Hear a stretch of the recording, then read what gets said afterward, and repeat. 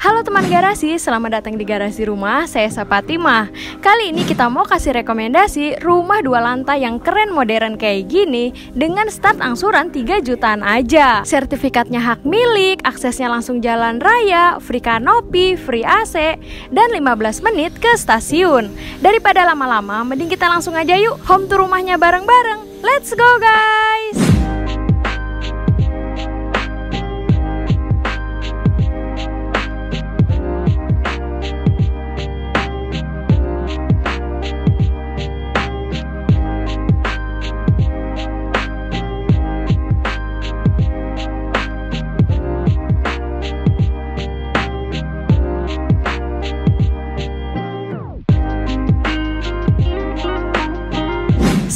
Kemarin kita home tour rumah satu lantainya, kayaknya sayang banget nih kalau nggak home tour rumah dua lantainya. Karena di mana lagi nih, cukup bayar 1.500 sampai akad, kamu bisa punya rumah dua lantai yang keren, modern, dan kekinian kayak gini. Kita lagi ada di klaster Savana Park. Lokasinya ada di Munjul Tiga Raksa, Tangerang. Lingkungannya juga nyaman dan sudah banyak yang menempati. Sertifikat yang didapatkan juga nantinya sudah SHM nih atau sertifikat hak milik. Jadi untuk legalitasnya sudah pasti aman nih teman garasi. Desain rumahnya modern dan kontemporer dengan pemilihan cat yang minimalis. Adanya permainan roster di bagian atas dan juga bawah fasad bikin tampilan rumahnya jadi semakin manis dan juga kekinian banget ya. Tipe rumahnya sendiri adalah tipe 50-60 nih dengan luas tanah 60 meter persegi dan lebar bangunannya 50 meter persegi. Sekarang kita lihat lebih dekat rumahnya yuk. Sebelum kita lihat rumahnya ini kita mau bahas sedikit untuk ROW jalannya ya nih teman garasi. Untuk ROW jalan di area di sini itu kurang lebih jalan utamanya lebarnya itu 8 dan juga 12 meter nih untuk jalan utamanya. Tapi untuk ROW jalan di area bloknya nanti kurang lebih itu 6 meter. Sekarang kita bahas rumahnya nih. Untuk dimensi rumahnya ini lebar di depan itu 6 meter dan panjang ke belakang itu 10 meter nih teman garasi. Di sini terdapat area carport yang lebar banget nih. Ini sih masih cukup banget ya untuk space satu mobil dan juga beberapa kendaraan roda duanya nih bisa sekaligus terparkir di depan sini. Untuk lebarnya sendiri di sini tuh kurang lebih 5 meter dikali hampir 4 meter dengan finishing semen kasar dan juga tali air yang besar. Bikin air nggak gampang menggenang nih di area carportnya. Carportnya juga sudah dapat kanopi nih yang keren kayak gini. Jadi kendaraan kamu nggak akan kepanasan dan juga kehujanan. Ini sudah free dari developer ya teman garasi. Kemudian di bagian sini terdapat keran yang sudah terpasang. Bisa banget nih untuk cuci kendaraan ya dan juga untuk siram-siram tanamannya. Nah, bisa dilihat nih teman garasi. Rumahnya ini punya jendela dengan ukuran yang besar-besar banget kayak gini nih. Pastinya nanti di dalam rumah akan terang. Dan untuk kusen di rumah ini tuh semuanya sudah pakai full aluminium. Lanjut kita geser ke area tamannya nih.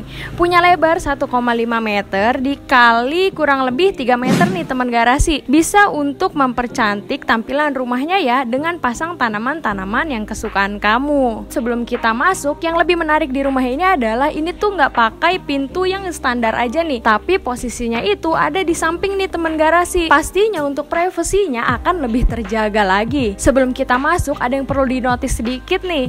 Untuk penomoran rumahnya juga minimalis banget ya. Jadi ala-ala industrial gitu. Menarik banget. Ini nih roster yang bikin tampilan fasad rumahnya jadi semakin minimalis. Sekarang kita lanjut ke dalam yuk untuk lihat layout lebih jelas lagi. Let's go guys! Hai teman garasi, yuk masuk yuk. Nah begitu masuk, kita ini dihadapkan layout yang super menarik banget nih. Karena ini tuh nggak langsung masuk ke area ruang keluarganya. Di bagian sini terdapat area dapurnya yang dipisahkan pintu geser seperti ini nih teman garasi. Jadi nggak makan space ya. Selain itu kalau misalnya lagi masak-masak, itu tuh nggak akan kebauan sampai ke area dalam ruang keluarganya ini. Sekarang kita lihat dari ruang keluarganya ini dulu yuk. Ini tuh space-nya cukup besar banget ya, spacious dan punya pencahayaan yang bagus banget nih di dalam ruang keluarganya. Kamu tinggal tata aja furnis sesuai keinginan dan juga kebutuhan kamu, pastinya makin nyaman nih di dalam rumah. Untuk di rumah ini lampunya itu sudah menggunakan inlight dan bagian atasnya itu nggak dibuat standar aja nih, tapi dibuat drop ceiling ditambah adanya permainan shadow line teman-teman. Pastinya ditambahkan lampu dan juga LED strip bikin nanti ambience-nya itu jadi kelihatan elegan dan mewah banget. Lantainya menggunakan homogeneous style ukuran 60 x 60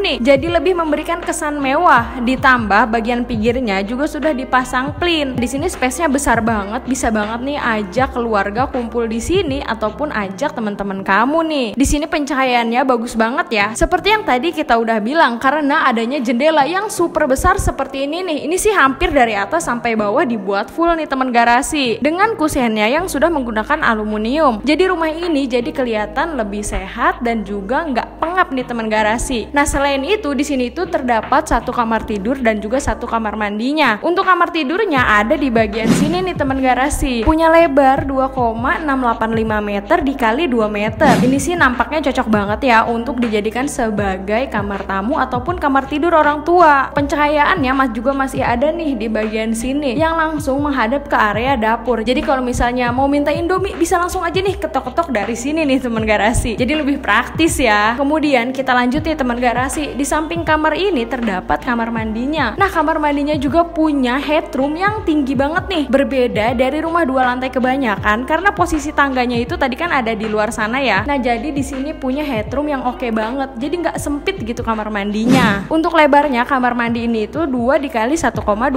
meter. Sanitari di dalam sudah dilengkapi dengan kloset duduk dan juga showernya yang estetik dan juga modern banget. Bagian dinding juga sudah dipasang keramik nih, jadi bikin tampilannya lebih mewah lagi. Bagian pintu menggunakan material pintu PVC. Sekarang kita lanjut tuh explore area yang lain. Wah, ada yang lupa nih teman garasi. Space di sini itu area ruang keluarganya lebarnya itu 4 dikali 3 meter. Jadi besar banget ya. Dan rumah ini juga memiliki daya listrik sebesar 2200 watt. Cukup banget nih untuk kebutuhan elektronik kamu. Sekarang kita lanjut nih teman garasi ke area dapurnya. Nah, ini ada yang menarik juga nih teman garasi. Sebagai pembeda area ruang keluarga dan juga area dapurnya di sini tuh menggunakan lantai keramik dengan motif yang berbeda nih dan juga levelingnya juga berbeda. Jadi berasa banget nih perbedaannya. Sekarang kita lanjut ya. Di sini juga cantik banget ya dengan ada space yang kosong seperti ini. Nanti kamu bisa manfaatkan sesuai keinginan dan kebutuhan kamu aja atau bisa juga nih untuk taruh mesin cuci dan yang lainnya. Nah, lanjut di bagian sini adalah ada meja dapurnya nih teman garasi yang bagian dindingnya juga sudah dipasang keramik nih. Jadi mudah dibersihkan yang nggak akan ngerusak cat temboknya nih teman garasi. Di sini tuh ukuran meja dapurnya juga besar banget nih. Ini tuh udah include dari developer ya. Di sini masih sangat cukup untuk kompor berukuran dua tungku sekaligus. Sinknya ada di bagian sini yang sudah disediakan juga dengan kerannya. Nah, untuk space untuk lemari buffetnya bisa taruh di sini nih teman garasi. Ini tuh lebarnya 2 meter lebih sedikit dikali 5,4 meter. Jadi besar banget ya. Selain dijadikan dapur pastinya seperti yang tadi kita udah bilang di sini bisa dijadikan untuk space service areanya atau untuk mesin cucinya nih teman garasi. Kita lanjut yuk.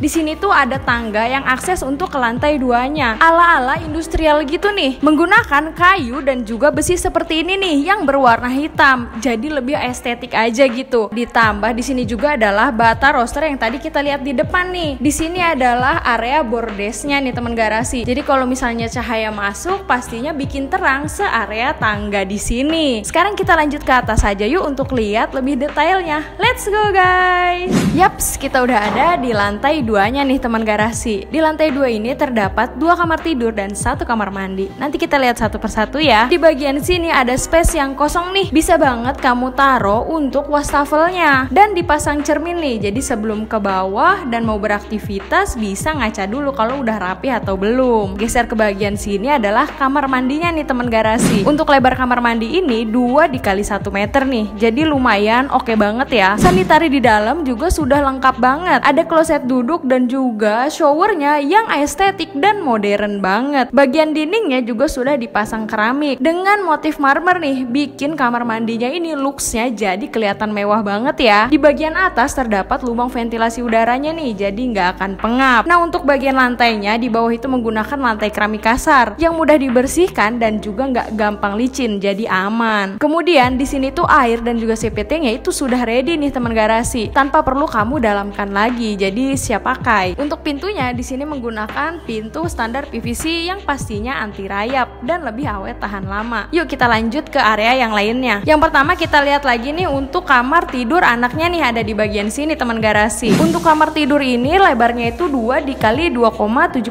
meter nih. Ini sih mungkin cocok banget untuk dijadikan sebagai kamar anaknya. Di sini bisa taruh kasur si kecil yang ukuran single bed. Lalu untuk meja belajarnya bisa di sini nih. Dan yang paling menarik, lemarinya mungkin bisa ditaruh di sini nih teman garasi. Semisal berpakaian, area space-nya cukup besar ya, nggak nyempit-nyempitin gitu. Nah di kamar ini juga masih punya pencahayaan yang oke banget karena adanya jendela di bagian sana yang sekaligus dijadikan sebagai pertukaran sirkulasi udaranya. Sekarang kita lanjut yuk untuk lihat area yang lainnya nih teman garasi. Sebelum kita lanjut, di sini tuh ada area selasarnya nih yang dipasang railing seperti ini nih untuk menambah keamanan ya teman garasi. Ini kan tadi di bawah adalah ruang keluarganya. Jadi di area bawah dan juga area atas itu terkoneksi nih untuk pertukaran sirkulasi udaranya supaya lebih oke lagi dan nggak akan pengap nih di dalam rumahnya. Tapi nih teman garasi, semisal di bagian sini tuh ditutup gitu ya. Terus ini tuh dijadikan space yang langsung aja gitu dijadikan sebagai area living room yang lebih private dari yang di bawah. Itu tuh bisa nggak sih? Coba dong teman garasi yang ngerti tulis di kolom komentar. Sekarang kita lanjut ya. Kita lihat area terakhir di rumah ini nih. Nah, ini adalah master bedroomnya nih teman garasi. Namanya juga master, ukurannya pasti besar banget kan. Kamar ini juga punya pencahayaan yang super oke okay banget nih karena adanya jendela yang ukurannya itu besar-besar nih. Tapi tenang aja untuk jendela hidupnya ada di bagian sini ya. Jadi kalau misalnya anak kamu lagi main ke sini itu tuh nggak akan bisa keluar nih. Kan susah ya, lebih tinggi nih teman garasi.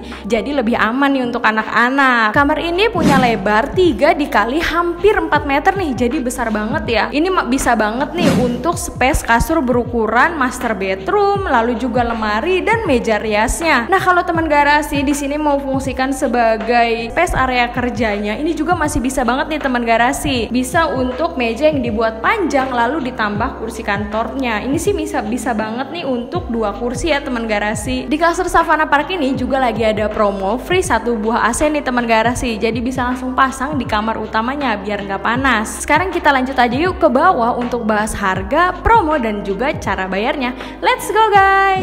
Sekarang kita sudah ada di akhir video nih teman garasi. Fasilitas di dalam klaster ada taman bermain anak, community space yang sudah jadi dan juga ada sarana ibadah dan juga lapangan olahraga. Ngomongin akses ini sih strategis banget, apalagi lokasinya ini persis dengan jalan raya. Lalu hanya satu menit aja nih ke minimarket, kemudian 4 menit ke pasar gudang Tiga Raksa, lalu hanya 10 menit nih ke RSUD Tiga Raksa dan juga Puskesmas Tiga Raksa, kemudian 10 menit juga ke Polsek Tiga Raksa, lalu hanya 15 menit juga nih ke Stasiun Tiga Raksa dan juga wisata Telaga Biru Cisoka. Kemudian hanya 25 menit ke Tol Jakarta Merak. Nah menariknya ke depannya Savana Park ini akan deket banget dengan future Tol Balaraja. Nantinya hanya akan berjarak 10 menit aja. Selain dijadikan sebagai hunian yang nyaman, Savana Park ini cocok banget nih dijadikan sebagai investasi yang menjanjikan. Untuk sarana pendidikan di dekat-dekat sini sudah banyak, mulai dari tingkatan TK sampai dengan tingkatan SMA-nya. Apalagi hanya 30 menit aja nih ke Universitas Esa Unggul Kampus Tangerang. Sekarang kita ke bagian yang paling menarik untuk bahas harganya nih. Rumah dua lantai di Savana Park ini tipe 5060